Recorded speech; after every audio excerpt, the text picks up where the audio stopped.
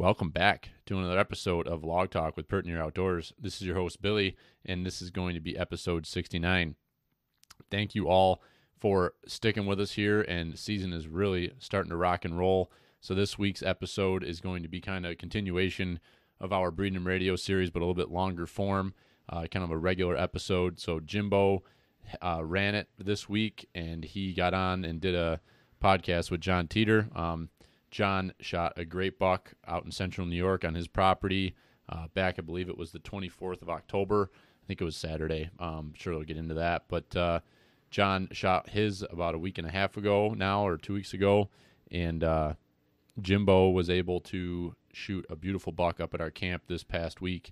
So we wanted to get his story out there too. So we've been following along with us on Instagram. You know that uh, this was uh, it was an awesome three four days uh, to be in the deer woods just about everybody everywhere who's out there was getting into the getting into the action and uh, found some success, whether that was sticking one with an arrow or just being in in the middle of the business. And uh, that is what we all live for: is to get into the into the craziness of the rut or the pre-rut or any activity surrounding the rut. It is just the best. So. Um, this is uh, a great chat between these guys. Uh, I hope you enjoy it. If you're not following Jon, uh, Whitetail Landscapes, head over and check him out on Instagram and Facebook. Um, he does some consulting and will work with you uh, on your property to come up with game plans for managing your uh, your deer and your property and uh, kind of getting the most out of what you got if you're if you're looking to to do that. So Jon's done some good. he's done a couple podcasts with us and he's been on uh, some other other podcasts as well. He did one with he's done a couple now with uh, Todd Waldron over at um, East to West Hunting Podcast, and uh, really great conversations those two had as well. So definitely recommend you to check that out. So uh, hope you enjoy this discussion. We are uh, we'll be putting out a bunch of episodes this week. I think uh, I've got at least two or three um, different breeding radios that we will do. Uh, that will be uh, myself and my dad. We'll uh, we'll do an episode, so we'll get that coming to you. Um, we got Nate Kennedy. He shot a nice buck. We got Nate, um, Wes, and Austin that were on here a week or so ago. Um, it looks like Austin shot. An, I think pretty sure that was Austin that shot it. Another giant Adirondack buck. So I can't wait to hear that story. And um, God, I'm drawing a blank on the other. It's awful. I have my list upstairs, but yeah, a lot of stuff hit the ground. Oh, Jim, jeez, I'm so sorry. We got to do it for Jim. Jim DiAugustino out of PA. Um, finally, one of the PA boys put something on the ground so we could get somebody on here to tell us what the hell's going on down there. So, can't wait to hear all those stories this week. Um, hope you're enjoying the content that we keep pumping out. It's definitely uh, it's been it was a wild October, and uh, I suspect that November and December heading into Christmas will hopefully be the same with plenty to talk about. Um, Jimbo is uh, can getting after me as well. I've been uh, slow getting the episode from their Adirondack muzzleloader weekend hunt. I got to get that out, so I'll probably drop that um, sometime throughout this week too, just to get that out there. It's a shorter, forty minute discussion, um, but a fun fun podcast those guys did at camp. So good stuff there. And I know you've heard my spiel about uh, checking out the links in our bio. Uh, been a bunch of activity on those over the last couple weeks, so I appreciate that. Uh, if you are looking to do any shopping, um, buy any hunting gear, outdoor wear, clothes for your kids, your wife, Christmas gifts, anything of that nature, if you're doing that shopping online, uh, we have a few stores that uh, we have we have uh, affiliate codes set up with or affiliate links.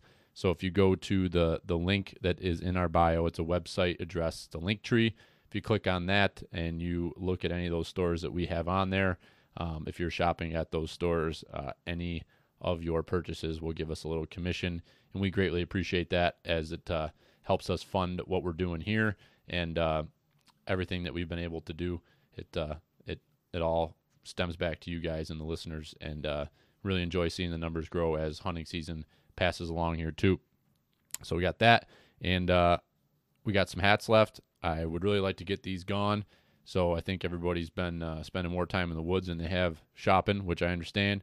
But uh, I've got a few more of the orange hats left, and I've got uh, probably about 10 of the, calling them the mommy daddy hat. Maybe that's why they're not selling because it's a stupid name.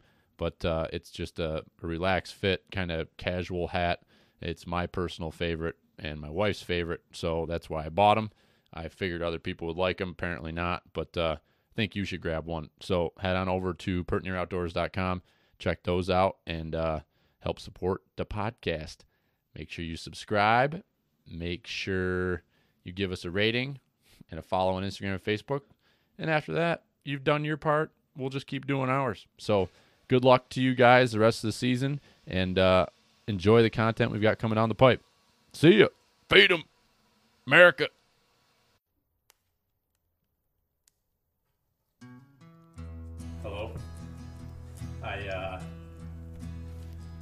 Yeah, Yeah. that's your Yeah. name. squirrels got me. Big Jim. Yeah. really, really, really, really cold and fun. Cold and fun.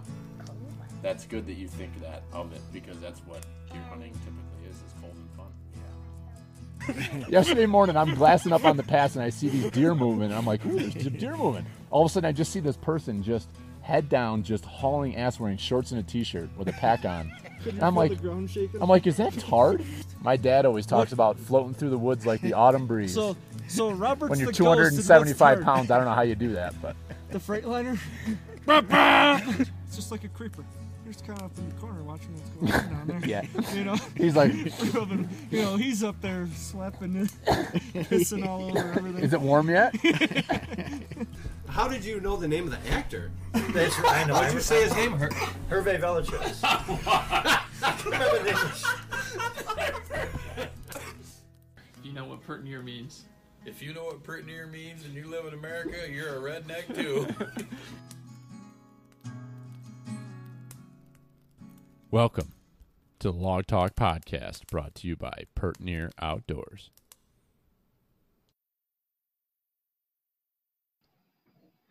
Alrighty, we are here with Jon Teater from Whitetail Landscapes. Um, we both happened to get a nice buck down, and we figured instead of doing it on the Breeding Them Radio series, we'd put out a little bit longer one and maybe talk a little bit about our properties and what we've done and uh, how we ended up here. You know, halfway through archery season with nice bucks on the ground. So I think we'll uh, we'll kind of start with your story since you got yours first, and uh, we'll go from there. Yeah, I've I've had a pretty good season. I've been I've been lucky, right? I, I killed a buck on the 25th, and uh, you know this this may sound a little conceited, but I was hoping to be done a little earlier than that. I was Um, too. I I have uh I think probably like you, I got family pressure, right? You got to get done. You got to get done. Yeah, it's And- a new new thing for me this year because, you know, my baby's almost three months old, and you know, for me, it's like if I wasn't working, I was in the woods. So Yeah, for for me to have to try to find a balance, I was talking to Billy about it yesterday. I'm like, it is very weird, like having to figure out how to give it up because it's like that's never been done before for us. So yeah, yeah. and So like October is my is my kill month. You know, last last year I killed the first day I hunted, um, and and you know the the year before I hunted twice and I, I killed my deer. So my my wife has become accustomed for the past four years me killing really early, and you know part of it is you know there's pressure on me a little bit right? I'm running a business helping people design hunting properties. I better have some expertise and i know what i'm doing. And by the way i'm, I'm no different from anybody else right? I own 50 acres right? I have access to a lot of properties. And the properties that i have access to a lot of other guys hunt them so i don't Yeah. have exclusive on anything except my own land. And uh, so i am no different. In fact i'm probably uh, I, i'm guessing i'm worse off than you guys. You guys got a bigger chunk than me so see, we're we're super lucky because we only have hundred acres, but our neighbors are just super generous, and you know they they own the top of the hill and the back of the hill that we're on, and they don't come up there much. It's almost like they just know that we kind of hunt it, and they have another seven hundred acres that they hunt. So, and they're mostly until last year they're mostly gun season, um, Yeah. but their kids kind of got into it last year, and they were there like every single weekend, which was an adjustment for us. But at the same rate, it's like that's awesome. It's great to see them up there. You know, we'll stay the hell out of the way, and we got good stuff we can hunt that is theirs, but they don't really touch. So, I mean, Yeah. it's just we are we are definitely super lucky in that aspect. But I know what you're saying about you know the properties you have permission on. It seems like if you can get permission on a piece, so can a lot of other people. So Yeah. that that makes it difficult. Yeah, and you know, and the other thing is, you know, I've got so many friends that want to come hunting with me. My my partner that I do business with, he he's constantly begging me, you know, bring me, bring me, bring me, and you know, I feel those type of pressures. And this year, I wanted about me and my son. I wanted, you know, he's nine. I wanted to hunt with him a little bit this year. I I have a neighbor down the street. He's 14. This is his first year hunting. We shot his first doe within two hours of going in the stand. I want to get him hooked. Yeah. And so you know, it's it's been a great year. I'm I'm I'm lucky, man. I I got to experience a nice buck, and uh, I can't wait to tell you my story. But at the same point, my neighbor, shoot, 14 years old, shooting his first doe. His dad, I had to tell him to back the fuck off because we were focused on blood trailing. And he kept jumping in front of me. I mean, I, you can't make this stuff up, man. And Right. Watching the kid learn, learn how to gut a deer. I mean, I love this stuff, man. I go, Yeah. you got to eat the heart afterwards, you know. Otherwise, you know, uh, it's not a true kill, and you, you know, the spirit of the animal goes away. You don't want that to happen, right? So, yeah, I'll put a little, you know, a, a little mystery around things for him. So, Right. it's a good season, man. You know, that's I'm I'm happy, and and frankly, if I didn't kill right now, I'd still be happy because I, I had some great things happen to me this season. You know, and and sometimes it's the small wins that go go a long ways. And the way I approach hunting season is maybe a little bit different than most. Or I, I do look at a phases.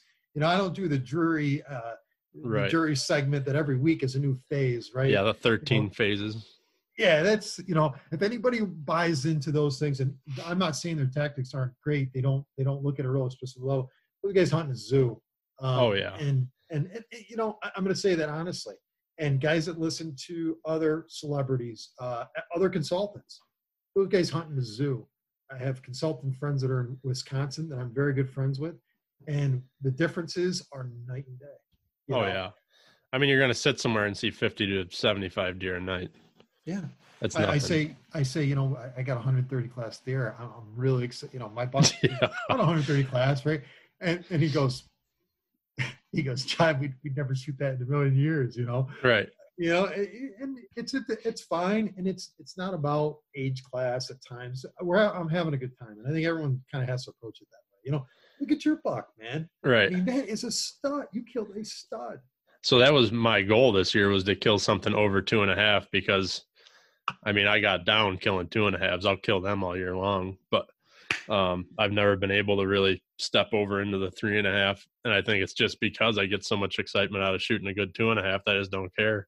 Yeah, But right, there's, there's you know, wrong with that. for me this year I was talking with Billy and you know our buddy Adam that we hunt with and it's easy to get caught up in all the hype but for me it's really just you know when you're in the moment and it's the time is right and your fingers on that trigger and everything lines up and it's a good day then you know that's when I'm going to pull the trigger but if it's not if I'm not getting that feeling I ain't going to pull the trigger and uh you know like you said you were trying to kill early this year than you have the last few um, I got a farm set up down the road from the house, and it's me and one other kid that hunt it. Um, and last year I killed on the first sit in my tree stand. Um, and it was kind of lining up to look like that this year with trail cam pictures. And I glassed the farm a couple of nights, and I'm like, this is just freaking golden. Like they had it set up with red clover and uh, corn and beans out back, and the only woods there was the woods that I'm on. So I'm like, they got to come past me to go to the food and I just thought it was set up on a tee for me, and I hunted it a couple times early, and I think I saw nothing the first time, and then the second time I had a good hunt, but they all came out of the corn to the east of me, which I was hunting a west wind, not expecting them to be already on the east side of me, and they were. So I actually had two little bucks in the woods fighting next to me, and that the nice ten point that came out of the um, corn, he was he locked down on a V to that those two little bucks fighting and he was marching in and I needed like 40 yards and I had him and he walked right into the downwind and I'm like son of a bitch. I'm like this is not the way I had this going. So I had that happen and then I went to uh some state land that is just up in the middle of nowhere. Nobody I don't think anybody's going in there because it's just hell. It's a cliff and when you get to the top there's oaks but to get there is not fun. And I went in there scouting it, wanted to put a camera up, and I got up in there, and I'm like, how have I not seen any deer? And I started thinking, I'm like, I bet you they go on the top of the hill at night and come down to this side hill during the day. So I'm like over the first crest, and I'm just on a little bench, and I'm looking at deer trails. I hear a branch break, and I look up, and there's just a line of three bucks just walking straight at me, and I'm like, holy shit! And the one about walked over me, and he was a two and a half, but he was wide, and for some reason the wide ones get me. And I had an arrow nocked, and he was quartering to at like ten yards, and I couldn't get drawn back. But he like walked on the backside of the tree with me, and I could see the next one coming was decent too. So I waited for him to get behind me, and he ended up getting downwind like five yards on the other side of the tree, and he ran up to the crest down behind the other one on the south side of the other one. So the other one was at like ten yards, but he turned and looked back at the other one like, "What are you doing?" So I'm like, I wonder if I can get drawn back. So I drew back and to set the pin right on his shoulder at 10 yards. And I'm like, this would be so cool. But I was like, it's just that, you know, it's a small two and a half. I don't know, trying to get away from that. So, you know, Yeah. as cool as it would have been and as awesome of a hunt as it would have been, I'm like, it's early. I got to hold off here. I'm assuming it would have been a downhill drag, which wouldn't have been too. bad. Oh, yeah. It was from the top to the bottom. He'd have been rolling down the hill. Yeah, yeah. Who knows? Maybe you know he's done in pieces, and they, they gutted he gutted himself. Who knows? Yeah, right. No, so I mean, Oh. like you said earlier, like you make the hunts count and it's the little wins even when you don't kill. I mean, I was like completely Yeah. satisfied after that hunt. I was like the pin was on him, he was dead.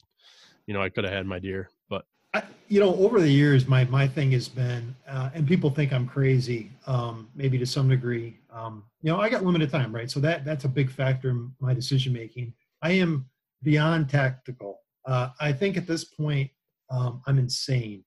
Uh, you know, I expect every time I step in the woods, I'm killing the deer I'm going after. Um, and and I and I would say, well, you know, that may be not be possible because of all these things. And I'm going to tell you right now, I've done it year after year after year after year. It's been multiple years. And I think really what's happened is I am hunting areas with other guys, right? So I'm gauging what they've got going on. I'm judging what the deer are doing. Um, I'm looking at every facet of the hunt from, you know, the weather being somewhat complex at times and, and kind of gauging that you know, relative food sources uh, during the periods of time, hunting pressure, socialization aspect of the deer. I mean, the stuff that I'm looking at is like really finite level. So you're you're everything's a probability shift. How can I put, you know, the most money in my pocket, or how how how can I make the best bet on this thing? And and that has been my trick. The other thing I've said is I don't post scout. I go in and I kill. So on properties that I pre-plan and design, I better know where the deer are going to be. And if I don't, and that's okay. There's properties that I hunt that it's like that. I like that because I'm, I'm guessing. I'm looking deeper in the sign. I know where I'm going to kill. I know when I'm going to kill, and- it's it's it sounds very predictive, but it's that's how I operate. You know, and I know it's you, you, if you're going in, you're scouting your disease, and you might have to do this on a new piece or piece you're not familiar with.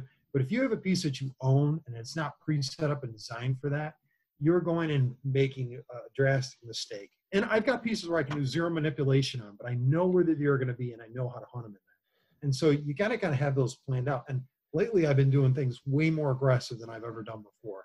Because again, the time factor. I'm going in day one to kill that deer. Period. Um, and you know, I usually hunt one stand and I'm done. And I've got, you know, like an example of 50 acres. I probably have. I used to do all hanging hunts. I want surprise attacks. I'm a little more um, I'm a little more planned out. So even in sanctuary areas, I'll have stats, st- uh, you know, tree stands already set that I'm I haven't even hunted or I may not even plan on hunting. But in case I got to go in, it's it's operation, you know, you know, kill Gumby or operation who or Yeah. whatever it is, right? It's diving in like SWAT operations, right? And that it sounds crazy, but it's all that pre-planning. The big guys that do this, guys do it professionally. The guys that um, you know have a lot of money and time that they can do this. If you're not doing that type of stuff, it just it, I don't want to say it gauges your seriousness, but it really says how tactful can I be, right? And I'm like, I am operation kill at that at that moment in time, and I, I think the success speaks for itself. I hunt in Central New York. I hunt in Syracuse, New York. Anybody can come to Syracuse, New York. The deer population here is laughable. Um, it is absolutely laughable. Uh, it's not compared to anything that I've experienced in Western New York or other places. Uh, it's laughable. Come on up. And I guarantee uh, people listening to this at this point may may agree with that. And and I've been here my whole life, and uh, I, I got to tell you, I mean, I, I- I've learned a lot. I've struggled. I've learned a lot. I've hunted suburban areas. I've hunted business parks. I've hunted everything you can think of. But I've hunted a lot of Western New York. I've hunted a lot of big timber. I've hunted everything. And I'm telling you, Syracuse is tough. Come to Syracuse because you know what? I think it's like it's like hunting the Adirondacks, but there's there's a lot of competition. There's a lot of guys around me. Guys are surrounding my property now. That's another change. So Yeah. So, I mean, these properties that you're really doing this on on a daily basis or a yearly basis. I mean, is is this more like ag land or more you know suburban property or hill country or just for the people listening, you know, the kind of setups you're doing? It's everything. I mean, suburban areas. I've done some suburban areas. Um, you know, a couple of the suburban areas were were less than ten acres. I mean, so it shows how small that I can go. Um, I've done a huge farm that was over a thousand acres. Um, some of the smaller farms are, you know, or properties are usually thirty to eighty acres in that range. Um, and you know, that- that's a little bit of my sweet spot because I, I spend like a full day there. Uh, if it's a bigger property over 100 acres, you know, this I, I like to spend two days on those properties because I literally walk every single inch of those properties. I mark GPS mark everything. I, I, I literally need. I, I basically it's a massive data dump, and it's the same thing during hunting season. Like if I didn't I didn't score, like I, I totally forget about it. I move on. It's like everything's a data dump for me. So the way I operate is, you know, I'll do a property plan, for example. I'll, I'll ingest all the data, take a lot of notes. I go back and plan, and then I, then I operate. I put the put the plan together, and then I'm on the next one. These it, it's got to be almost real time for me because there's so much data and so much consideration and factors that go into it. A lot of it's a lot of it is still touch and feel kind of thing. I don't I don't necessarily um, I take the input from the from the client uh, and I, I value that. But then you know I've hunted so many hillsides and big timber and know how to break them up and you know I want them to be tactful and strategic. So I'm going to give them every option to be that way. And a lot of my clients have done a ton of work already. So it's it's fixing some of the things that they've done. So now I look like the I don't want to be the, the asshole of the discussion, Yeah. but we definitely have to dig into some changes. And, and so you learn, you just learn how to operate better with people. And I think if they Right. hire you, they're willing to listen. And if they're willing to listen, they're willing to change. And I can tell you right now, it's not ironic. I'll give you an example. This year on my 50 acres, okay, um, this is I missed a bigger buck. I missed a bigger buck. uh, I shot over his back. I haven't had time to practice a lot this season. Uh, I shot over his back, and uh, it happens. And guess what? I saw a bigger buck than the buck I killed. That's on 50 acres. I have right now today, and I, I better be careful because my neighbors are starting to get angry with me because people are starting to understand some of the things I'm doing. More than several shooters, and there's a buck right now in much bigger than I killed a 130 class buck. This buck is bigger than that. And by the way, there's two more that are bigger too. It's like, oh yeah, I, I, I never had a situation like this until I bought my own land. And not that I didn't expect it to happen. I mean, I would expect that's why I did it. But at the same point, you know, I never had these many options. I'm used to one deer in my in my career. I I, I hunted one deer over two years, three hunts. I put only three hunts in him. I killed. I saw him every time, all three times. I killed him the year later, first time I went after. And so three hunts, one deer to kill one deer. And that was my goal. And this year I set a goal, but the problem is there were so many good bucks running around.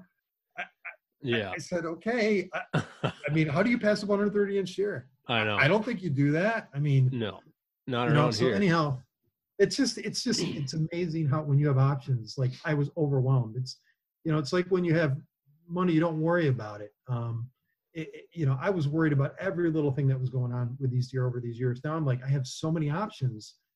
Uh, it's just a matter of when. When do I want to kill? And, right. it- and I make it sound super easy because it's not. But honestly, if you get into the system and you do what I'm doing, it's it's it's it's like clockwork. Yeah. So not always, but a lot of times it is. So I think a lot of like on our property, we're down in the hill country, and like you say, with your population around central Syracuse, there, like, there's not a great population down there. I mean, you can go a weekend and see four deer. I mean, it's nothing. We're not sitting there watching just a line of deer coming down the hill at night and picking which ones we want to shoot. It's, you know, you get them on trail cam in the dark. You don't know how far they came from to get there, and you know, you're just not. We know deer bed on our side hill, but you also catch them. You know, I got a Facebook request from a kid that's down the road from us the other day. And uh, he asked me, he was like, You guys don't happen to have 150, 160 inch drop time buck on camera, do you? I was like, "You're talking about Frankenbeans, aren't you?" so yeah, I got to shooting the shit with him, and we knew he doesn't live on our property, um, but we were trying to figure out where he lived, and the kid was like, "Yeah, he's he's springs and summers across the street from my house. We found his shed last year, and he sent me a picture of it." And uh, I told him, I go, he shows up between like the 14th and the 20th on a yearly basis. We've had him the last three years, same spot, like clockwork, showing up. And uh, I go, he actually hung on our property last year until uh, the opening day of gun, and my buddy shot at him and missed him. We never saw him again. And he goes, "That's funny. My neighbor shot at him off the front porch twice and missed him too." so this, so I'm asking him, I'm like, dude, how many people know about this deer? He goes, the whole fucking town. Yeah. He was, he was like, they're spotlighting these fields every night. He's like, I'll be surprised if this thing doesn't get poached. I'm like, God damn, I hope that doesn't happen because I don't give a shit who gets it, but that that's an impressive deer, and I want the story when somebody shoots it. Yeah, I would too. I would too. But like that Um, buck that I shot, we know that Frank showed up, but we had this other buck on camera, and I'm like, at first when we started getting cell cam pictures of him hitting the scrapes, I'm like, man, that's a doofy deer. I'm like, he's you know he's got a lot of shit going on, but I didn't think he was that old. And then we got a picture on our CuddeLink system um, last week, I think Monday or Tuesday, and he was standing during the daylight, on the logging road, looking right at the camera, and you could see the mass. And I'm like, holy shit, that's actually a really big deer. I'm like, that deer's actually got some age on him. So when I seen him marching through the woods, that's all it, it took for me. I'm like, I could hold off, and I probably will now. Now that I filled my tag, I probably will have Frank and Beans walk underneath me again, like I did last year. But Yeah. I can't pass up that old of a deer for No. No, waiting for Frank that yeah, he might be- not show up again. And it's funny, you know, I was talking to a guy last night. Um, he's down in South Carolina, uh, and it, yeah, I think he was the Deer Manager of the Year award, Quality Deer Manager. Friend of mine, a great guy, and we're just talking about we're aging deer. We were he sent me the jaws of the buck that he. I mean, some of these folks are getting so serious in these older age class deer, and I think a lot of it's just the trickulation of of what's happening out in the Midwest. And uh, you know, we can achieve you know some similar. We have much harder winters. Um, much severe season. The seasons severity of the seasons are so drastic here. Uh, the winter lasts, you know, actually, you know, the senescence period is, is anywhere between four to five months of uh, basically the, deer are starving. Uh, the, the buck that I killed this year, he had a lot of uh, visceral fat on his, on his intestines, right? A lot of, a lot of fat in his belly. You go out south and parts of the Midwest, uh, Midwest, they, they do as well, but some of these other areas don't have the same type of stress we have. And, you know, we had such a light winter last year. Yeah. Um, the buck that I killed, I'm almost certain he's a buck that I saw last year. And uh, I, I, I'm not kidding you. I mean, he put on, uh, he put on 25, 20 inches. He was probably 100 inch deer last year. 20. Well, he Yeah. prob- probably put on 30 inches. So 30 inches of growth in, in a year. That's in our area. That's unheard of. And these Yeah. lighter winters, look, I like them. I mean, uh, I personally like them, but I mean, I, I think for the deer, I think it's it's helping us out a little bit. You know. I hate them for snowmobiling, but for the wildlife, uh, it's funny for me because I'm huge into snowmobiling and um, I hate to see a bad winter, but I've also seen what the really good winters do to the, the animals. And, you know, my in laws live right on that Tug Hill Plateau line over to Oh, Old okay. Forge.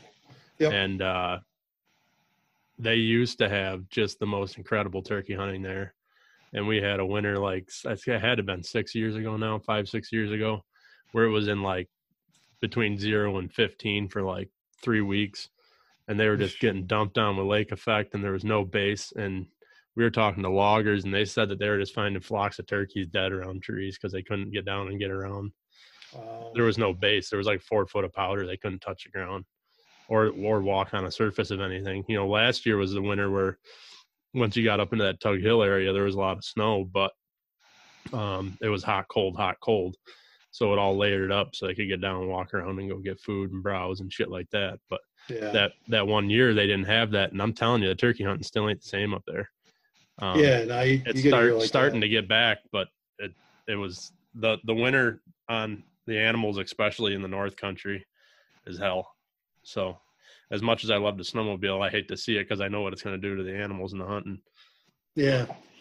Well, well, maybe I'll, let me dig into my story. and Tell you a little Yeah, let's get right into yours. kills. So, so this is this is interesting. So it's been it's been a good season. So I, I kind of look at the season in a bunch of phases, and not the Drury phases, my own phases. The feed the, the feed period or the initial period is kind of that summer transition and early fall. The deer are pretty predictable in that sense. You got to be really strategic, have a really good strike plan. You got to know a lot. The deer start to kind of, I guess, get out of their their uh, quote unquote summer patterns. A lot of the you see a lot of deer in the bean fields. Um, we don't have a lot of bean fields around us, but you know, kind of the green areas, alfalfa areas. That's kind of what we have in our local area, and a lot of bedding in those areas. Um, there's cover associated with them. They start to transition back into that timber, right? And they start to get get deeper in the timber. Their social structures are pretty much set. Bachelor groups start to break up. Uh, they start to find kind of their their home territories, right? And it's just this big transition phase. Um, those can be really good for picking up deer and those could be really good for killing deer um, and and so i try to kill as early as i can in kind of those you know summer habit um, habits or you know uh, i don't want to say patterns because again I, deer aren't patternable in my opinion um, th- their habits kind of provoke what they do so then we get into the next phase and i call the next phase is is the the uh, front phase so basically from I'll say October 8th to right around the 24th, 25th in that area. I'm usually just focused on weather fronts. Weather fronts Yeah. changes. Keep it real simple. Um, for sure. There's other little factors you got to start to weigh in the deer's personalities and and all the things that go into your decision making. And, and I'm not just looking at factors. I'm looking at social behavior, a lot of different things. So this season was a good season. I usually don't hunt more than four or five times up to about the 25th. I'm generally hunting afternoons. I'm not hunting mornings. Um, I will go in after a morning after deer if I'm be super aggressive, and I will hunt a deer in a bedding area, not in a bed in a bedding area. I will go after a deer. So the point I'm trying to make is I'll be very aggressive if the intel tells me to be aggressive, or I'll back down depending on the deer's personality, uh, and also it depends how many deer I have to go after. Right? Uh, used to go after one deer, so now having multiple deer to go after, it's kind of been a little bit of a, a change in my mind. So I hunted six times uh, up into the time I killed this deer. Uh, he was the sixth hunt. Okay. And this is over three properties. So I'm not just hunting my own property. How many other areas? Other guys are hunting these other areas as well. Um, in that, I'm just going to give you some statistics, and then we'll talk about my kill because I'm a data guy. Uh, I saw 12 bucks over six hunts. So average, right? Two bucks a hunt. Great. Out of those 12 bucks, I saw four shooters. That means deer to the three and a half or older, right? So that's good odds. And that's about right. If you start to think about the pyramid, uh, you know, deer as they get older in age class, there's there's less of them. So that, that's that's about right. Actually, it's a little bit higher than I would think. So those are like really good statistics. So I'm like, great, I'm on my game. Now, how many chances did I have to shoot uh, any of those shooter bucks? One, because I missed, and I told you about that earlier. Okay, Yeah. right out the years back, 36 yards. So if anybody on this podcast thinks that anybody's elite and great and all that kind of stuff, guess what? You can miss any time. Nobody's perfect, and and I'm I'm I'm I'm raising my hand. I screwed up. Okay. Yeah. So there's the first thing. Uh, the second time, uh, the buck that I killed got his ass kicked by a bigger buck, and it was an incredible hunt. Four bucks that day, so add that to my twelve. Um, four bucks that day, and two bucks went at it unbelievably heavy. These bucks are fighting like you would think they're fighting right now. By the way, this is a fight phase right now. Um, so these buck snort wheezing. I mean, if you've never heard of snort wheezing, well, a lot of guys haven't. Um, you know, and I very rarely hear it, but man, it it's it, it gets your it gets you Oh, going, yeah. man. Yeah, uh, buck comes in chasing. I mean, like rams hitting, boom, boom, and uh, the bigger buck, who I didn't kill, uh, kicked the shit out of the buck that I killed, and I can admit that my buck was the less dominant. He's a satellite deer. Um, 130 inch deer guys. They don't they don't have to be 130 inches to be dominant. They're not Right. I've seen some pretty pretty tough, you know, gnarly six pointers and eight pointers kick his ass. Um, The other deer actually would probably score better than the buck I killed. But that's a different um, whatever. So uh, so good season, right? Up to that point. So uh, I usually don't bump in the mornings. I, I've had some issues with deer hunting in the mornings, but but I generally will. So I, I do a morning transition right around the 24th, 25th. But it it's all data driven. Uh, the week before that, in the October lull, which by the way is a fallacy, is most bullshit. If anybody wants, we'll do a podcast on that sometime. Um, I saw most of my deer during the October lull period. Okay, which I'll just say is anywhere between October 9th and the 22nd. Okay, I'm just making up dates, but uh, I saw most of my bucks in that period. Okay, so let's let's throw that out as bullshit. Okay, for another podcast. Right. So we'll talk about my kill. So my wife gives me permission to go hunting. Right, I go out. I love the bunny ears. I go out my land. I am going to kill one of two bucks. Okay, killed one of two bucks. I was I was targeting one of these two bucks, and uh, you know a lot of my buddies are like they always ask me what day you hunt, what day you hunt. It's all circumstantial. It's based on your circum circumstance, the weather in your area, the type of uh, deer dynamics that are going on. So this is my situation. Post uh, post weather front, but two days after the weather front. So it doesn't it doesn't have the greatest draw. But that morning it was supposed to be high high humidity and um, uh, then rising pressure, and uh, so you're getting a lot of thermal change at that point. Okay, um, but in the area I'm going, I'm not going to jump right into a bedding area at that point. Right, I'm staying. I'm still in transition areas. I'm not hunting based on this circumstance. I'm hunting transition areas, so I'm not getting right on the deer. So um, about nine, there's no. Well, actually, I get into the stand. I, I want to tell about a folly here. I get into the stand. I'm doing. I'm hunting out of the saddle. Right. So I put my sticks up. I'm, I'm all set up. I don't know why I did this, but I left my jacket in my bag. So there's like 50 pounds of gear down there that I got to haul up. Right. Somehow my bow gets unclipped, drops, hits the Oh, ground. Jesus. Okay. So my bow just dropped the ground. I was like, okay, we're gonna pretend that never happened. Yeah.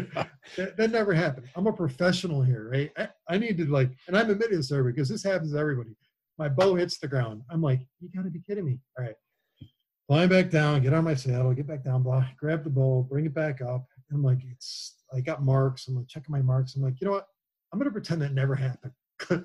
this is bad, right? I'm I said, Yeah. I'm in here to kill. I'm gonna kill today. I'm gonna kill today. If I got that on my mind, I'm screwed. So I I, I erased it. Never happened.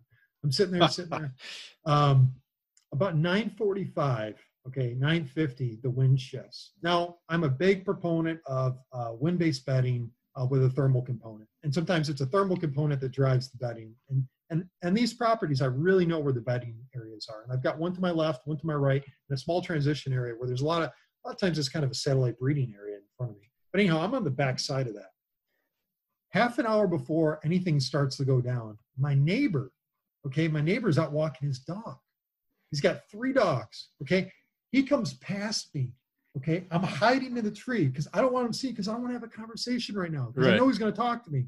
I'm like, I'm thinking to myself, I could broadside this neighbor right now. Shouldn't say that, but I, I'm thinking like, and by the way, these dogs have bells, bells on their on their Oh, chains. God. I'm thinking to myself, okay, drop my bow, bells on the chains. I said, I'm gonna kill today. Still gonna kill, and I'm gonna kill. I'm gonna kill. My my gut was like we we're gonna kill anywhere between 10 and 11 because we're gonna have a wind shift, and in that wind shift, it picks up. It was a high pressure day. Things are starting to heat more rapidly. You're going to start to get a little wind change at that point. The bucks are going to shift. They're going to go from one bedding to the other bedding area. This is my bet, right? I'm betting on these are all the factors I'm considering. There's other factors, but these are the, the primary factors I'm considering. Okay, so here's what happens. I'm sitting here, and all of a sudden, I hear about 100 yards away, I get a ping. And uh, not a ping on my cell phone, I get a ping. It sounds like a some ruckus is going on up there. I don't know what the hell's going on. So I let out a little, maybe chasing, I let a little bleep. And I'm like, okay. I, I don't like calling. I like to be a ghost. I don't call. I yeah, don't do anything. me too. I don't put out scent. I want to be a ghost in the woods. Okay. I was never there. No one ever saw me. I killed and I escaped. That's that's the plan. Um, there's one there's one issue though with my setup and entry and access is it's huge for all this stuff. Long story short, something's happening up there. I bleep. I give it a couple grunts, and I let it simmer. And um, and a little while later, I don't hear anything. Don't hear anything. All of a sudden, here he comes. One of my bucks nice 10 pointer, the one I obviously I was able to get. He comes in, all the ruckus that happened before me, dropped my bow, you know, the worst hunt that, that you know, deer- dogs running around with bells on their just hunt. You're here to hunt and you're gonna kill. The deer are used to that guy walking. He walks that all I the was time. I was gonna ask that. I was gonna say, is that something he does on a regular basis? Yeah, and guess where I walk? Guess where I access? I access off where he where he walks. Yeah. So I'm using his access to my advantage, um, and his his his, pre- his his presence to my advantage. So Yeah. long story short, the deer comes in, comes in like 30, 31 yards in that range, and I just had the hardest time getting him to stop. I literally yell. I go, meh, and then I go, hey, like that. Stop them. right when I yell, hey, let it double lung. When I hit the deer, he ran 30 yards and toppled over. And um, he only ran 40 yards probably after the shot, I would say total. Uh, double lunged him, and I could hear him hacking. And at that point, I had pretty sure that I had double lunged him. And uh, and uh, you know, I knew I knew that I, I was in the money. So he dropped dead, and you know, I try to be hush hush. I want to sneak out there like a sneak out of there like a ninja. And uh, anyhow, it all worked out. Uh, was able to blood trail him, found the deer. That, but that's the story. There's a lot that went into that hunt. Um, he was not the dominant deer in that area, but a hell of a deer, and I was so happy and pleased. And you know, yeah, I could have killed a bigger buck, and yeah, I could have been more patient. I'm just happy, like you. I'm just happy.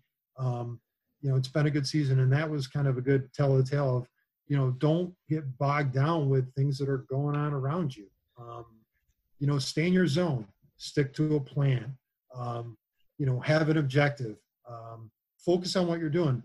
No, no, really know what's around you. Have enough intel and, and, and start to collect that data to make some of these decisions. It's the sixth hunt, the 12th buck. Uh, not how many does I saw. Those are 12 bucks I saw, four shooters.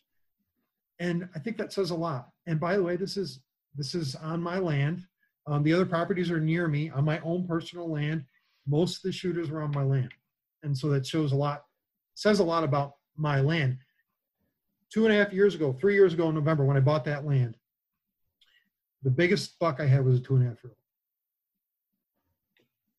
So, So what what did math. you what did you really you know this year as far as setup this year um what did you have going on for supplemental food or were you running trail cam cell cam so you didn't have to go in there i mean what was your whole setup leading into it I kind of get a vision. It's some something that that's uh, you know doing enough property designs. You get a vision for what things are going to look like. And I went in and I kind of designed an area to kill a specific deer. I knew that um, my target deer. I'll just say my target deer. There's two target deer that I had, but I knew that one of those deer would frequent that area, and they did. Um, so I manipulated this area well enough to know where the deer are bedding, not bedding. If anybody does anything really simply, if you can help define where they bed, it's a lot easier to hunt them. It's it's really as simple as that. So helping to distinguish where they where they bed, and I'm hunting transition areas. So I'm not hunting right in the bedding. Um, and if I'm going into the betting, I'm really I'm desperate. Um, and and usually very conservative. And I also don't like that tack. There's guys like uh, DeQuisto, these big time guys. They'll bump deer in other areas. They'll hunt betting. Um, you got to be very aggressive. Have a lot of options uh, to do stuff like that. I typically don't do that. I'll hunt them in transition. Um, and so the manipulation concept and collecting data, I'm collecting data all, all year. I know the year before where I'm probably going to kill. And so it's kind of that predictive modeling. It sounds crazy. How can you be this smart to figure these things out? It's not that I'm not, it's not that I'm smart. Animals are more, you can manipulate how they move through the landscape.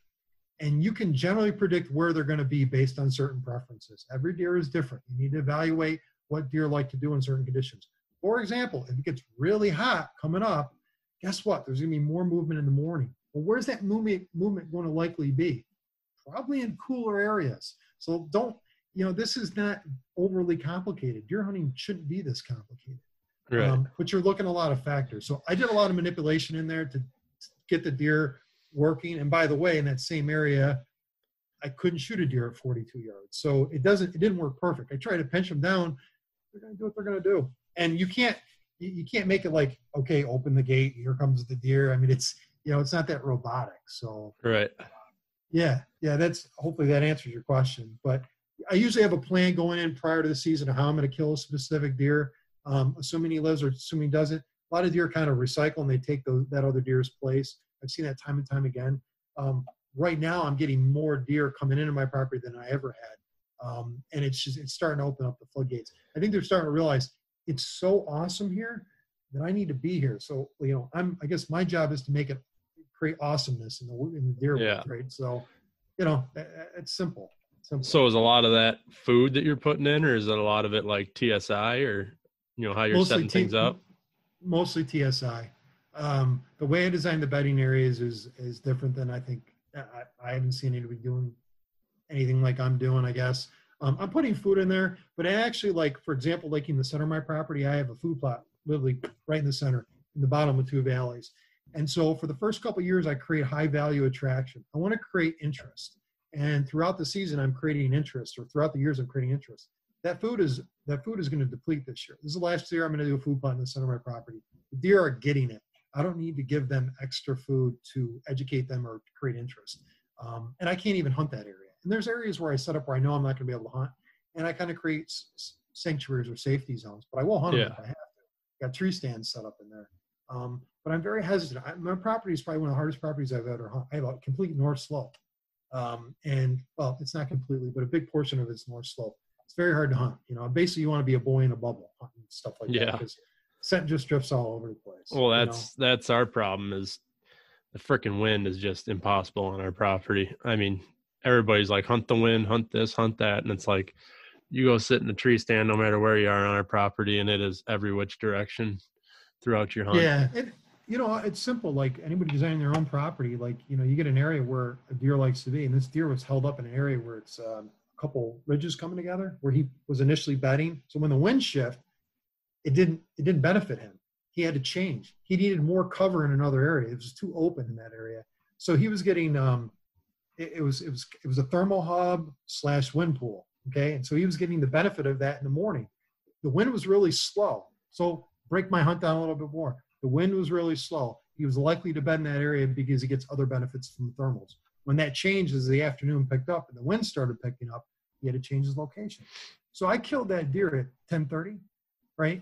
Now most guys would have been, man, it's 9:45, you know, early Right. in the season, it's October. I'm gonna get out of here. I'm like, man, I'm gonna kill this deer around 9:30. I bet you. Right. Holy shit, he came in at 9:30 when the wind started changing.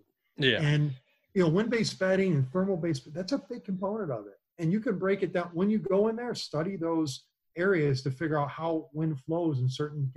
You can look at topography and start to evaluate just how thermals flow. You know, uh, this isn't a cooling cycle, so he's going to be a little bit lower down on the crest of the hill. Actually, there he was probably in the bottom, and what he did is he came up top. So I was I was trying to back trail the deer to figure out where he came from because I um, another bit of data. I checked my trail cameras after this. If I was going to go upset it, I actually drove up with my tractor. I used to drive up with a lawnmower from Yeah. back to lawnmower because I mow all these trails through there. So I drove up with my tractor, put in the bucket, kept the tractor running, then checked all my trail cameras off the tractor. Right. Next day, I'm loving it. We're going to get rain. I did not gut the deer in the woods because I want to preserve it. Um, and I scooped the deer up, slowly get out of there. If I could have wet up, you know, cleaned up the blood, I would have, you know, and, and, and left, right? So I got the data I needed. I took that trail camera down and I put the story together. Okay, this this relates. He came here about 940. He did this loop. He made this, you know, and and uh, you know, so I was able to recreate the story. And if people can do that, you start to learn more about deer habits, and then you start to digest things a little bit more. And you, if again, I mean, it's I love this stuff, man. It's a science experiment 90% of the time. Yeah. And sometimes it works out, you know. So. Yeah, and I feel like on our place we have a harder time patterning them per se. Um, Yeah. I mean we don't hold them at all over the summer, and it's funny because back before we really knew any of this stuff, we always be like, "What the hell? We don't get any bucks on camera." But now that you're paying more attention and you're running more cameras, it's like clockwork. They start pinging and showing up. It's like, God, these deer are just like clockwork every year. We hold the doe group, and then the buck group just flows in by October 10th. They start showing up, and it's Right. game on from there. What, um, I've got a good friend. What you notice is a lot of the areas don't change, right? Crops are harvested around the same time. People's uh, approaches are about the same. Um, a lot of times you're getting less hunters in, in certain areas, so it starts to hurt you at some capacity because the pressure starts to go away Right. from other areas. But you know, when you when I'm talking to a client, I say, "Well, what's all the camera data reveal? When are they interested in these areas? You know, what's the time frame of a lot of these things?" And you start to get a good timeline of the story, and I'm like, okay, we're going to change everything about that. We're going to get deer in here way more often, and and it's not that you want deer there all season long. You, you know, it's meaningless if you're not hunting, but you want to create interest all season long. You know, some degree of interest, even if they're there temporarily. And there's a ton of ways to do that. Um, I don't want to make this about habitat, you know, but it always boils down to it. Is I'm going to give some key advice. This year after the season, everyone that listens to this podcast, go out on your property, and when the winter gets very bad, start cutting trees. Give the deer immediate food. It starts to create that attraction factor that starts to drive their interest. You can change deer's core locations. There's been all these studies on where deer's core location. They think it's habitual. That habitual stuff changes in a moment. So you can you can disrupt all that. Deer don't have to be in these other areas. They can be on your property. You can fix all that. A lot of times it's fixing the hunter, but you can create a lot of you know. So so everything that's going around you, it's clockwork because nothing changes, right? Yeah. So you guys got to just be the disruptor. You got to make the change. So it's that's what- interesting because you know I asked you about TSI, um, and you said you do a lot of TSI, and that's a lot of what you know when our deer season ends. My uncle he has a firewood business, and he picks an area each year to kind of do a clear cut and a thinning, and kind of does that strategically to try to make it connect to the one he did the year before, and make all these kind of travel corridors through the property. Um, and he's been doing that. You know, they've done firewood for twenty some years but now that we're actually looking at it and thinking about it and getting more strategic about it i would say the last six to eight years have been more of strategic cuts rather than just dropping good firewood trees Yeah. um and man has it showed because um the first clear cut he did was at the base of our hill. And that clear cut now is so thick that you can't even see the other side of it you know. I mean it's probably eight foot tall still you know even though everything's starting starting to break down. Um and i drove through there yesterday checking the trail camera before i left there. And i was actually looking for a spot to move a portable up along the base of that clear cut. And uh there's a freaking doe and a little one standing in the end of the clear cut like 10 yards away from our CuddeLink camera and uh she just stood there. I mean they were in the brush and i never stopped. I saw her i just kept moving. I figured maybe there's a buck there or two around her so i didn't want to stir anything up so i just kept driving. They stood right there never moved. Um but i mean that that's a clear cut that it's been there for six eight years now and the deer are just sucked right to it. It's unreal. Yeah. The, the biggest thing in being successful in designing hunting properties is, is really having a plan and and emphasizing the right times to hunt uh, and execute. You know, it's great to be unconventional. I, I'm literally the most, I'm probably the most unconventional person you ever want to meet. Um, the things I do are different. I want to be different. Um, I think that that creates originality and it gets people beyond. Everybody listens to Jeff Sturgis, any of these guys. A lot of it's, uh, I'll, I'll, I'll be honest with you. Uh, a lot of it's just rhetoric. A lot of it's propaganda. A lot of it's baloney. Um, you know, I want substance. It doesn't always have to be science based. Some of the things anecdotally are, are very valuable, and and I, I would never dismiss that whatsoever. But you know, real strategy. Um, I think hopefully, I talked to Billy the other day about maybe doing something cool next year with maybe a public hunting challenge. And That'd be uh, sweet. I like I, I I'd like to see guys um, get outside their comfort zone because everyone's used to this pre-planned execution, right? Let's Mhm. let's take let's disadvantage everybody. Let's take a new area. Let's see how sharp these guys are. And I'm going to tell you right now, I'll suffer in that scenario. I'm not, you know, I'm getting away from freestyle hunting. I'm not going to just do this, Right. you know, walk in the woods. I'm I'm analyzing. You got to be very tactful in those. It's a different style than the style that I'm doing, but that's a time thing.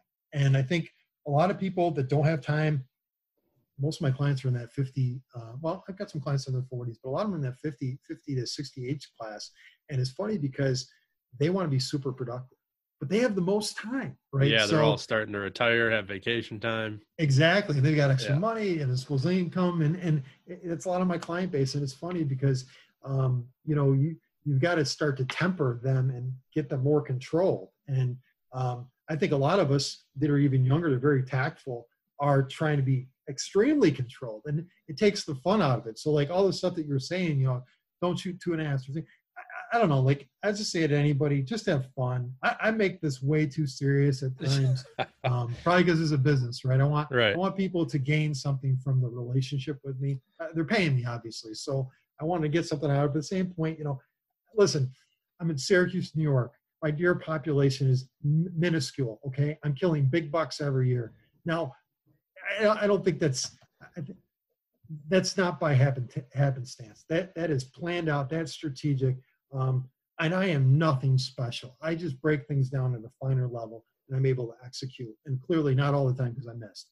So you know, you know, That'll happen. I mean, that that that's that's the big thing. And picking the right days and going with clients to pick the right days. That's a big thing. Um, six hunts. Again, I, I'm not. I'm just telling you, six hunts. Out of those six hunts, I've almost I, I, I could have killed the target deer. It just got a little too late. I was not comfortable making that shot at 25 yards, and I would have killed. I would have been done during the October lull, and and we wouldn't even be talking about Spidey. We'd be talking about a different buck that I killed. Yeah. And uh, and I'm happy I could share that I dropped that bow out of the tree. So you know, I don't want to talk anymore. Let's hear about your hunt, man. You, you want to know what was funny? Is I was hunting a farm that I haven't hunted in two, three years, and my portable is like 25, 30 foot up in a maple tree, and you use limbs pretty much to get the entire way up. Oh yeah, And that's safe. I I get there the other morning at like six. I got in there super early because I figured the stand was gonna have to be reset. Um, I'm like, damn, I don't even know if there's a bow rope, and if there's not, it sucks because I climb around the tree all the way up. So the bow rope would be wrapped all the way around the tree. I'd have to like climb up, hook it up, and then come back down and hook everything back up. And I'm like, I really hope that string's still there. And it was, but I could tell it was in pretty rough shape. But I gave it a good pull before I hooked the bow on. And I'm like, well, it didn't snap there. So that's got to be about as much as the bow weighs. so I hung the bow on and then I climbed the tree with my pack on and everything. And I get all the way up there, and sure as shit, the freaking strap was grown like an inch into the tree. So I had two ratchet straps. My took my pack off, hung it on a hook. I got the. I actually had a seatbelt cutter that I started carrying with me um, for some of these tree stands. So it's just a little ring. I got it here. Um, it's a little ring Oh, with like a, a little pack on it. Yeah. So I just throw that in my pocket because I've had this, you know, where I go move stands and all the straps are too tight and you can't get them off the tree. Next thing you know, you got fucking trees all over your property with straps still on them because you couldn't get them off the tree. so I started carrying that thing, but I was in there like six fifteen, cutting the strap, putting new straps on it, and then I get up in the stand, get my safety harness all hooked in and everything, and I'm standing there and I'm like, all right, I gotta try to pull this bow up. And as I'm pulling it, I can like see the string is like unraveling from the, the rest of the string. And I'm like, Jesus Christ. And it's pitch dark out, so I can't even see. And I finally got the bow up and I'm like, you know, that really would have sucked if I freaking got the bow at like 20 feet and the fucking string snapped and the thing went bouncing down through the limbs. yeah, I've seen that happen. yeah. So, I Oh. mean, I got lucky, but you know, that was one of those deals I, I got, got. I gotta ask you. I gotta ask you a question. Your uh, your straps that you you know you pack because you're planning all this out, which sounds pretty funny. Um, were they Harbor Freight specials, or did you go big? Did you did you go to AutoZone and get the, the slightly better straps? I think it was an Amazon order actually. Oh, right, I think it was like the four pack camo ratchet straps off of Amazon with like the Yeah, then you're 1200 just pound ga- weight rating. Yeah. You're just gambling with the Chinese quality. That's fine. Yeah. No, it's fine. That's why you use two instead of one. yeah, yeah, yeah. So I've been there, um, man. I have been there. I've Yeah. done the exact same thing. So So that was a fun hunt on that old farm. By the time the sun came up, there was a really nice buck and doe bedded out in the field that I had just walked through on the way in 45 minutes before that.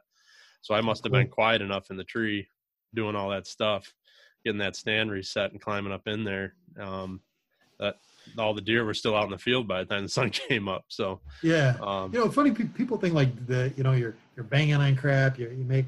I- right. I've gotten away with a lot of stuff. Oh yeah, it's crazy. Oh, this is funny. I'm hunting the other night, and uh, I bring coyote collars with me if I'm I hunt my big box blind up my field, and it's all you know. I can sneak in and out, but you know I want to spook them.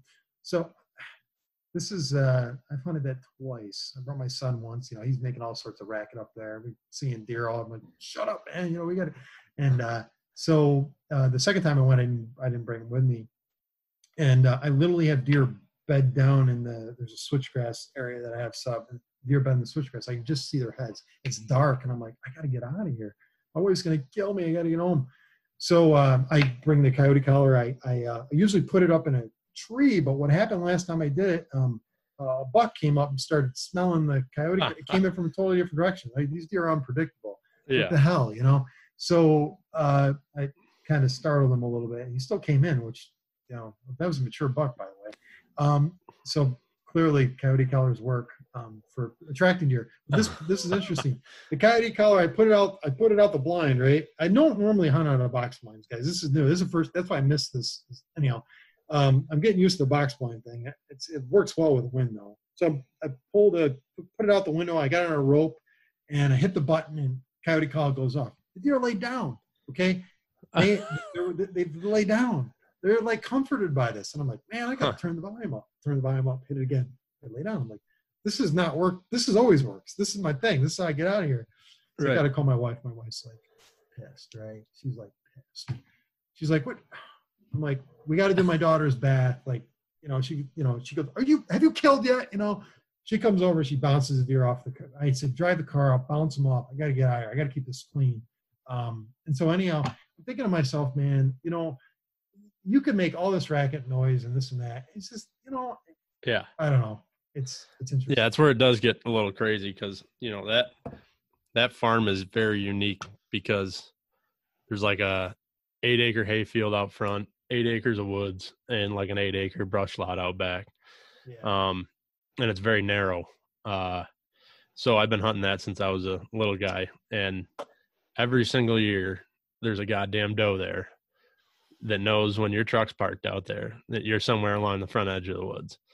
And that son of a bitch, when the sun came up, she stood up out of her bed and she started marching right down to the freaking end of the field there to try to find me.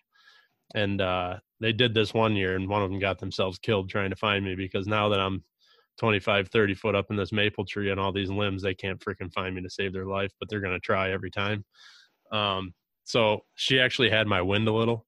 If she didn't have my wind, I know damn well she'd have came to the edge of the woods looking for me, and I would have Yeah. I would have whacked her. But there's like we used to hunt ladder stands on the edge of the, uh, on the edge of the field, and the field drops down in the back, and there's a ridge like 50, 60 yards out coming across it. Yeah. So they stand on the ridge, so they're level with you at, at your platform or your ladder stand, and they'll just stand there and scan the woods, and they'll just wait till they pick you out or or they see you move or whatever. So now that I'm higher up in that tree in a portable, they can't find me, so they get pissed off and come down and try to find me. And it I'm normally gonna rec- I'm gonna recommend a tactic for everybody. So when you have a situation like that, bring a paintball gun with you. Mark that doe if you can, depending on the distance you get with a paintball gun, and make sure she dies as soon as Yeah. possible. Yeah. No, I was telling my dad's buddy, the one that I got in there with, I was telling him, I was like, man, if she'd have given me 14 more yards, I pinned her at 44, and it was pretty, it was pretty dark yet. Um, yeah.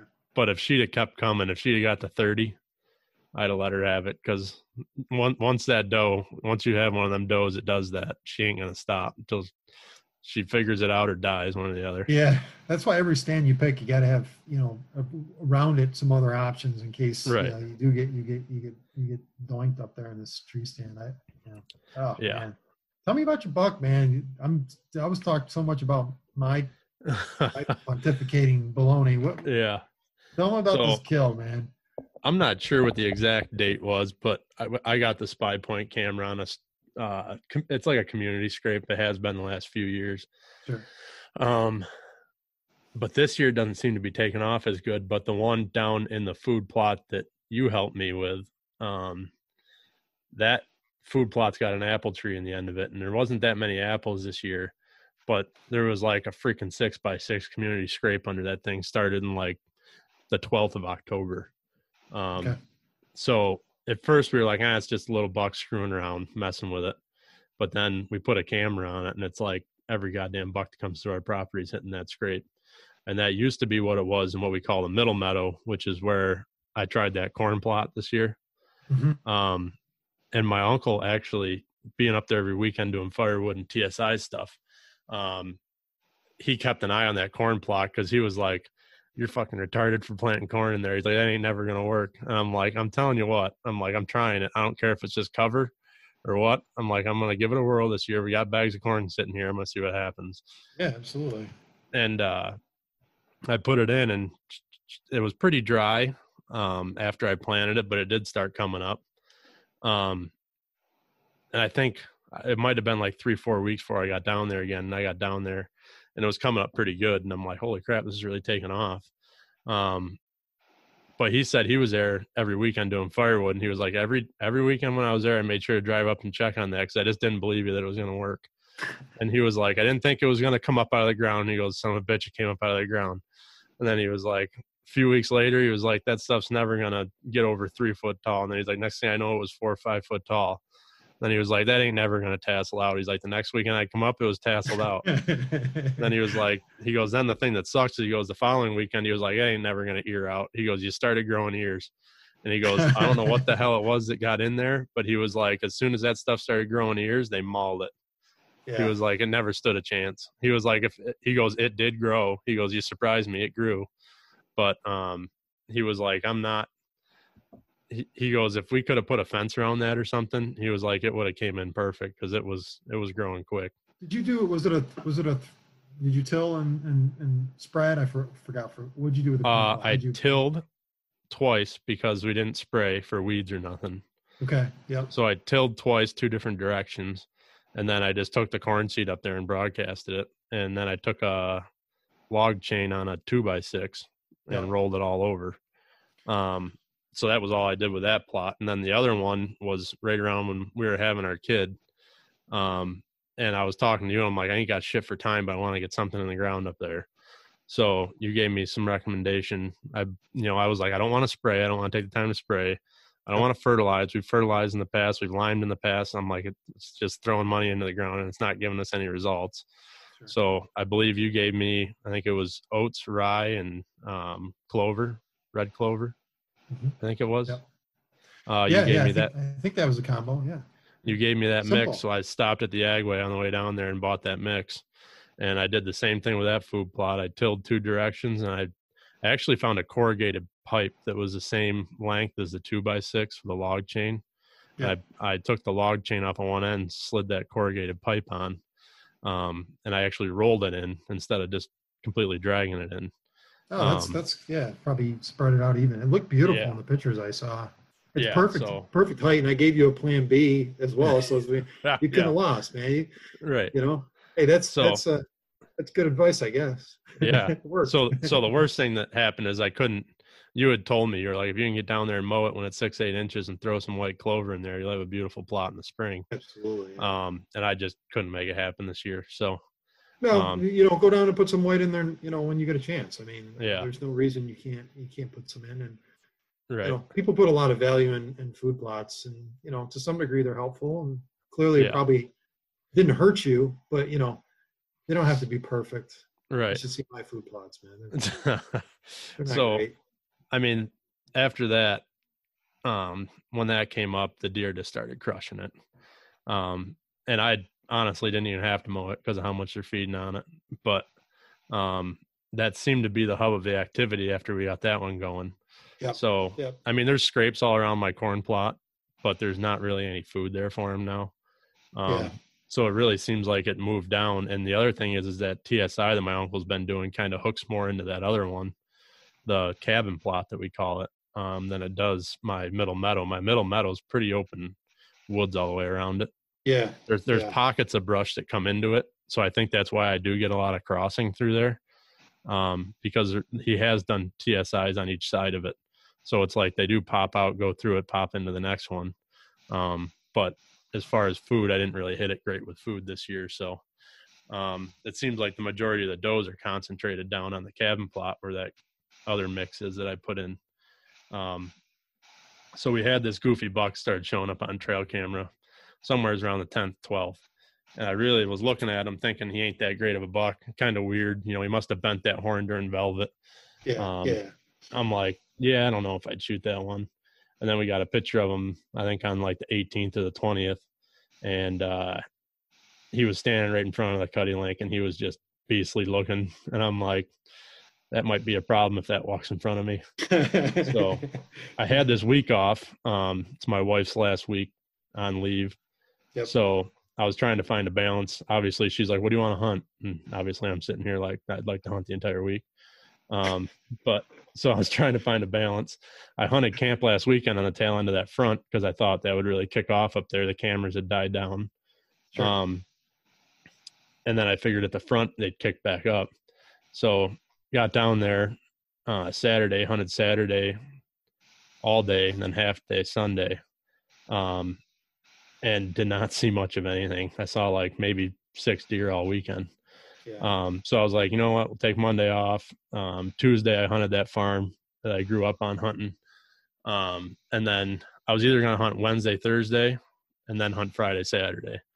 And it was funny because I was looking at that Drury deer cast, and it showed the middle of the week being garbage, like the worst hunting of the week. And I was looking at my trail camera, my cell cam, and I had nothing from like Tuesday night into Wednesday morning at like five five thirty when I got up to take care of the baby, and my wife was like, "What are you doing?" And I'm like, "I think I got to go this morning." I'm like, I didn't have any activity, and all of a sudden, I'm starting to have bucks on scrapes. You know, an hour before daylight. So I got down there. I got down there a little bit late, but I drove right up to the cabin, which is 80 yards, 100 yards downhill from that uh, cabin plot. So I drove right up to the cabin, parked my truck, threw my jacket and my pack on, hiked up the hill, um, walked right across that plot, uh, walked up the four wheeler trail and hopped up in my tree stand. And I'm in like the split of two trails. One runs the base of the hill, the other one runs right down into that cabin plot. Yep. And uh, I have a camera on that road, and it showed me morning activity of bucks just cruising the road. Um, so I got a 10 yard broadside shot to that road, and I'm I sit down on the stand at like 7:35. I'm like I'm gonna sit down and relax for a little bit, Yep. and uh, something happened. I don't know. The stand kind of popped, made a noise, and I'm like, ah, shit. So I'm like sitting there. I'm like, I got to be quiet. So I decided to shift my weight after like five minutes, and it did it again. And I'm like, God damn it, I'm not gonna be able to sit all day. I'm like, I can't keep sitting and having this thing popping around on me. So um, I heard a branch snap behind me. And I'm like, that really sounded like a deer. And I'm like looking over my shoulder, and it was a doe. She was in between the logging road and the food plot. And she came in, she had her head up looking, she heard it. Um, so she ended up coming to the four wheeler trail that I walked in on. And as soon as she hit it, she smelled my boot tracks walking in and bounded away. And I'm like, son of a bitch. I'm like, you know, it's wet out. I'm wearing rubber boots. It should be fine. Um, and then a second deer was coming behind her. And I'm like, oh, it's got to be a buck. And it was. It was a little six point. And Yeah. he didn't know what she bounded away for. So he freaking started rubbing a tree and grunting. And then he just walked off. I don't really, it- it's so thick behind me. I don't really know where he went. But um, sitting there at like 8.15, 8.30, I'm like, all right, I throw out a grunt call. I'm right at the base of this hill. We had pictures of, you know, we have pictures of all these bucks up the hill and above that clear cut at the base of the hill, you know, all the bedding and does. And there was bucks down there Saturday when I was down there last weekend. There was a buck that came down the north end of that clear cut right above my corn plot. But I don't know if the wind was drifting up the hill and he turned and walked back up the hill. But it was a nice 10 point. He was coming right down the hill to me. Um, but I think the wind drifted and he, he turned and went back up the hill. So, I was like, this seems to be the happy hour between eight and nine. I'm like, I got to try to throw out a grunt, see what happens. I normally don't blind call. You know, if I see Yeah. one and it's too far out, I'm going to call to it a little, see if I can get it to turn and come in. Yep. Um, but I was like, you know what? This just, it's a foggy morning. Just looks like a great morning to just screw with them. So I threw out a few grunts and, uh, I'm just standing there watching around, watching towards the north end of the clear cut there. Um, and I hear, or I didn't hear, I saw a deer moving across the side hill. And as soon as I saw him, I was like, shit, that's a big deer. And then he popped out into the hardwoods, and I'm like, holy shit, that's that buck with that bent horn, um, or the bent beam. Yep. And then I realized that he was on a damn mission because I had just grunted. You know, it didn't even click till he was like really marching at me. I'm like, holy shit, he's coming to that grunt call and he is just Yeah. marching through that freaking woods and i'm like holy shit so i get my bow and get clipped on and uh he was heading he was on the upper logging road heading right in front of me and i'm like this is perfect 10 yards broadside and he'll be done um and he stopped right before my camera on the logging road and he turned and he walked in between the two logging roads where it's thick and uh i drew back there was a freaking limb right in the way when he stopped at 25 broadside um, and of course, what does he do? He turns and just walks directly at the base of my tree. So now I'm full draw and he's just walking straight at me. So I waited. He kind of turned downhill a little bit, hit that next logging road that runs down into the food plot. So he walks, he's literally like under my platform and he's almost to where that doe busted. And he stopped and I'm like, I know this is a horrible shot. I know so many people wound deer with a shot Yeah, yeah, yeah. but I was like, aim low. I'm like, everybody aims dead on and they miss high, spine them, you know, shoot over them, whatever. So I'm like, just telling myself, aim low. And he's perfect little quartering broadside right under me. And I aim low, and it's a damn good thing I aim low because if I'd have aimed on, I'd have shot right over him. But Yeah. I aimed low and I spined him. I actually drilled him right in the left side of the spine, and uh, he dropped and started rolling and flipping. And I'm like, son of a bitch. I'm like, you know, I've done that before. You know, not dead on below me, but like Yeah. out in front of me. I've shot high and had him drop into the arrow. Um, and the one time that happened, it turned into a freaking wild goose chase. I shot all my arrows. My brother had to chase him down, shoot his arrows at him. Um, we finally got him, but I'm like, Jesus, I've seen this before. So I go running down there. I freaking lowered my bow, go running down the climbing sticks. Uh, right before I hit the ground, I got to stop to unclip my bow because my bowstring's too short on that stand. So I kind of stop and listen for a second. And I'm like, I'm not hearing anything anymore. I'm like, he was making a hell of a racket and he ain't, I'm not hearing nothing now. So I'm like watching down to where he went towards the food plot and nothing's moving, nothing's going on. So I just unclipped the bow, got down, nocked an arrow, and started sneaking down there real slow. I could see him laying there. And I'm like, with how quiet it is, you know, with the leaves and stuff, even if he is alive, I could sneak right into like 10 yards and freaking draw back and whack him again. So I get down there and I'm like, his head's like upside down. I'm like, he's like all twisted around. Like he's either got himself stuck under a log and he can't get up or he's dead. So I walked up to 10 yards and stood there for like 15 minutes and I'm like, he's dead. He ain't moving. so yeah, I got luck. I got lucky with that 'cause I know it's a tough yeah, shot. you hit the arteries in the in the. Yeah. Well, no, I actually I might have clipped the artery artery along the spine, but we gutted him out. We same thing you said. We didn't gut him there. We got a few pictures and took him down the hill past the cabin and got him out down in the woods down there where we don't hunt. Um, so when we were gutting him out, um, that arrow freaking blasted right through the left side of the spine and actually drove down into the top or not the top, the left lung. It blew right through the left lung down into the lung and he snapped the arrow off. And when he was flipping around, that broadhead and that end of that shaft were in there just tearing it up. yeah, So, I mean, he was dead in under a minute. yeah. Oh, that's a that's a great story. Yeah, I got Big lucky buck too. I mean, I I wonder how old that deer is. I mean, it's just gnarly mass and just See, I, I always kind of, I always try to judge mostly off of like body size and stuff, but I feel like that one's older than what the body size leads on to. I don't know. Well, you know, I, it's hard to do that, right? I, I killed a buck last year that dressed 202, right? Um, and he was a three and a half year old. The buck that I killed Really? this year, I haven't aged him yet. He might be four and a half. I think he's a three and a half as well. But I mean, he's if he is a three and a half comp, I mean, he dressed at 162. So there's a there's a 50 pound difference or 40 pound difference between those two deer. That's a Yeah. that's a you, you know every every everybody's designed differently, you know. So I think he's an old. It looks like an older deer to me. I, you know, it just seems I like most of the old, old deer that we shoot up there are, you know, 180 to 200.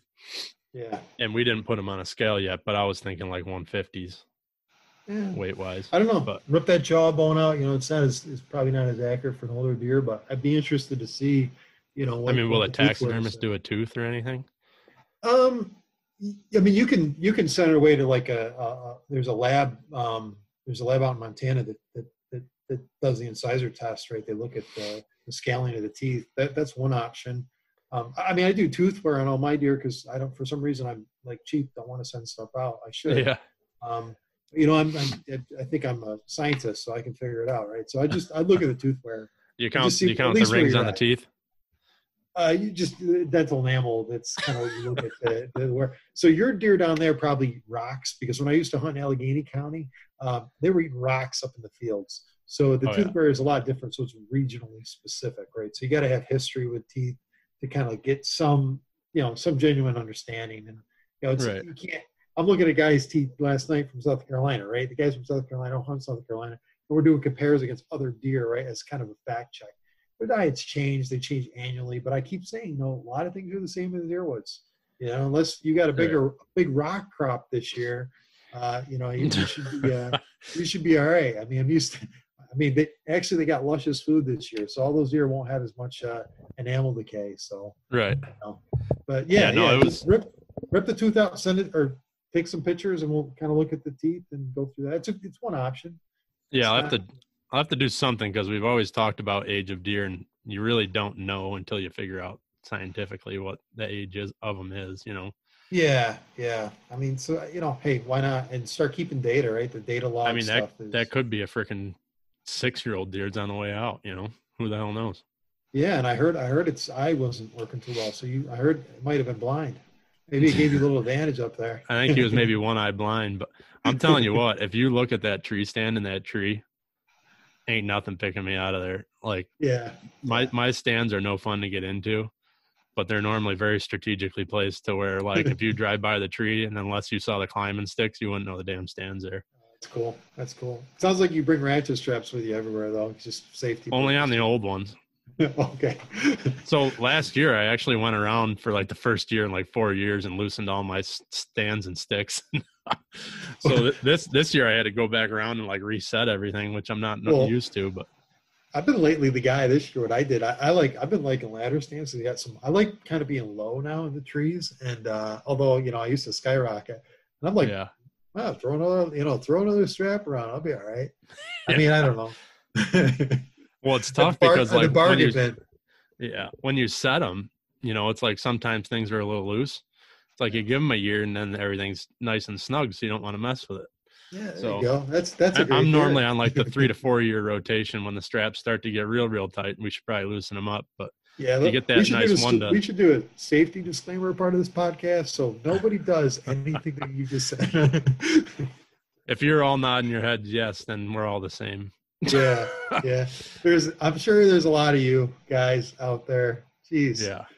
Yeah. No, In my, in my habitat plans and hunting plans that I do, I prescribe exactly against what Jimmy said. Don't listen to him at all. So if you're going to hire me, expect that. So when you're screwing up, I'm going to give you a little sermon on on, on that and safety, right? So, I, I could write write you a whole memo of what not to do. yeah, yeah. Actually, if I could put that as an appendix to my plan, I'd appreciate that. Yeah, that'd be perfect. We could figure something out for sure. yeah. So I think I ought to get wrapping this up. I don't know what you got going on this afternoon, but I got some family things I got to attend to. Mm-hmm. So Good. Yeah, no, I appreciate having me on. I'm happy everyone can listen to my trials and tribulations. Yeah, like- no, me too. I mean, story. it's it's funny because everybody that I talk to, you know, everybody's all jacked up about Frank, and I'm like, I, I know you guys are all excited about Frank, but I have no self control, and I have a real nice two and a half year old walk by me, and the time's right. it's gonna happen. But Yeah, I I got think you, I, I, I got lucky this year, and I think I stepped No, it up in the age so. caliber a little bit. But yeah, I think you cast your chips in. I think at this point you're gonna have, now you're you, you you're only going up from here, man. Yeah, I mean, what Yeah. what's funny is, and what you were talking about is being strategic. That's not something I normally am. Normally, I got my spots I like to hunt.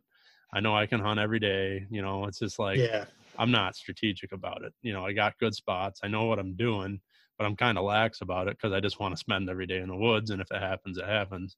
But this year, I knew it was going to be less time in the woods, and I actually thought about it more.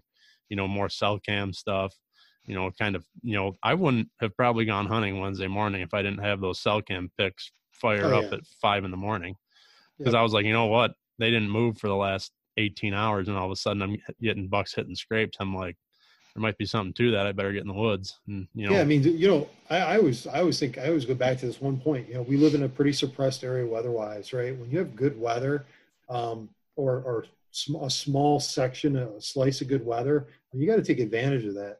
Um, I mean, I did just did a podcast and another thing talk about hunting kind of rainy days and those those benefits too. And frankly, you know, you got to be even more strategic on those days. And, I think if you put the story together, you a lot of people can be more efficient. A lot of people that have time that can hunt a lot. It's fun. I mean, come on, Yeah. you love it. But I mean, at some point, you know, something's got to give, and either you want to be really successful or you just want to spend time in the woods.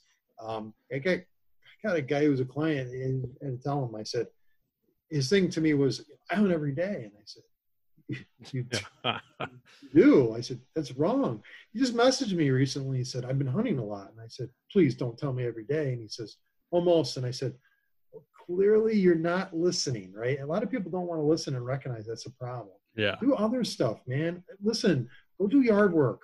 Seriously, find a hobby. Find another Right. hobby other deer hunting during deer hunting season. You'll, So- you'll be way more successful. the other part of that is is you know don't hunt the same spot or the same property every time because Right. you know as I say I hunted you know every day last year and didn't have to worry about it too much. I also hunted a different property almost every day. You know, Absolutely. I mean, have options. yeah, I'm all over the place. I'm not overdoing one spot. Yeah. and, The- and I've gotten to the- this point now too where normally my first sit in a stand I could kill a deer. Yeah. And it used to be like I'd hunt the hell out of that stand and then I wouldn't see anything the rest of the season out of it. Yeah, and it, you know, a lot of times it's not it's not as much the stand, right? It's the ingress egress. It's it's Right. just the boots. And, and if anybody starts really, I mean, I got a routine with boots that I tell my clients. You know, it's it's a write up in my report, right? You get you get this entire report, and we go through boot maintenance. That's the first thing I talk about. It's the most important, critical thing, and how I maintain my boots, my system, my process. That's the stuff that makes the difference between. Uh, God, I don't want to say this winners and losers, but I mean that, success and non-success, right? So, Yeah. you know, I, you know, I think those are huge aspects of it, and, and I think a lot of people, if they put more time into the small things, um, I won't let friends hunt with me because they don't take care of their boots. You're not coming on my property if you don't do my boot routine, and and that's that's my partner. He's not allowed to hunt with me anymore until he figures out his boot situation. Until I see some progress, he's not on my he's not allowed on my lane. So I show him every picture that I get. Yeah. Yeah. That's funny. yeah, it's funny, but it's true But actually. It, it's funny, like the hunting strategic. Like I've been hunting up north for years and never shot a deer. Yeah. Um, you know, this year I've been trying to be more strategic, and I killed my first doe up there, and I've killed my first buck over two and a half. You know, and we're not even at the end of October yet, so it's like I, I can kind of sit back and relax and enjoy the fact that I've already had a successful season. Well, one thing you one thing you shouldn't do at this point is you know kind of sit back and say you know right now what am I? I'm pushing the limits. I'm going anywhere I can. I'm learning anything I can. It's a great time. Yeah. You know, a great time to destroy woods. Spend a lot of times. When I say destroy, put your boots all over it. Figure things out. Um, I'm not saying areas where you're trying to preserve them for the next you know the next age class deer or whatever you're trying to do to keep Right. them safe. But get out there. Start start figuring start figuring stuff out. That's what I'm doing. I'm going hunt areas I never hunt before. I got a plan to kill another buck during gun season. I never do this. I usually shoot a deer during bow season, and I, I don't want to. I'm very conservative. I don't need to take another deer. I need to start shooting does. So we're going to shoot those, but I kind of got this inkling about killing this this other deer, and Yeah. right now I'd say got a 50-50 chance killing them. So it depends on what happens the next couple weeks, but you know, Yeah. I'm planning ahead, right? I mean, you got a whole, you got a whole. I mean, I've to- I've also changed my philosophy the last couple of years. I used to want to, like, I was just huge on wanting to fill the buck tags, and I didn't really Yeah. care what the bucks were. I just wanted Yeah. to fill my buck tags. Yeah. But now that I'm a little bit older and changing a little bit, I'm like, I don't need to fill buck tags. If I want to put Yeah. meat in the freezer, I'm gonna just go to my buddy's farm, pound down does. I'm gonna kill one to two does at camp a year. You know, I'm gonna fill my freezer off of does, and um, if I don't get a buck, I don't get a buck. So, um, yeah, it's funny because since I've taken on that theory, I've filled almost every buck tag still, but they're decent bucks. So, Yeah. No, it's it's it's a that's you know that's a philosophy I think a lot of people have at this point. yeah. Uh, it works. It clearly works. So cool. All right. Well, good luck in the rest of your season here, and definitely would love to hook up with you and get you down to our camp at some point. Yeah. have you tell us how much stupid shit we're doing wrong. But Probably not a lot. I don't want to make fun of anybody. Uh, if anybody needs to get a hold of me, my business is Whitetail Landscape. Uh, I got a website, uh, Instagram. I'm mostly on Instagram. I, I hate Facebook. Um, just want to throw that out there. Um, you can get a hold of me. Um, I have clients. I have clients all, the way- all the way through March at this point. So I'm I'm getting booked, which is awesome. yeah, Um, perfect. And you know, I can only take on so many clients a year, um, and I'm getting more regular, recurring clients. So at some point, I won't be able to take on clients, which is which is great. That's a great option to have. But uh, I'm helping people, um, and I spend a lot of time with the clients. And uh, I think you get the most. My reports are about 100 pages. You get 100 pages of information, uh, 50 pages, around 50 pages just on your property. So 40, 50 pages in that range now. I've kind of added some things to them on the last plan. And I'm actually doing my last right next week. I have my last person. I've got uh, a couple months for me, and and uh, but I'd love to come down and help you guys be a part of anything you guys are going on. Next year, just we're be- pushing a public land challenge in New York, Yeah. and I'll be there kicking anybody's ass. No, I'm just trying to hunt and having a good time. So Yeah. Drinking Busch Lights. yeah, drinking some Busches. So yeah. No, we'll have to try to do that. Um, and thanks for hopping on here and spending some time with me today. And congrats on your buck. And too. uh, you too. we'll have to see if we can hook up again here soon. Yeah, Jimmy. Thanks, man. Thanks for having me on. Appreciate it. Yep. Have a good one. You too.